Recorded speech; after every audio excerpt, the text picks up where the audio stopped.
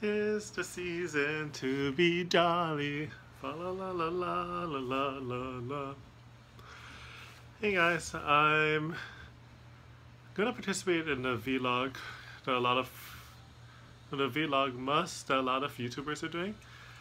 I have a lot of footage that I've been stockpiling and I'm gonna be releasing a bunch soon and then I'm gonna have gonna try to have just one or two every day after that for December. Enjoy!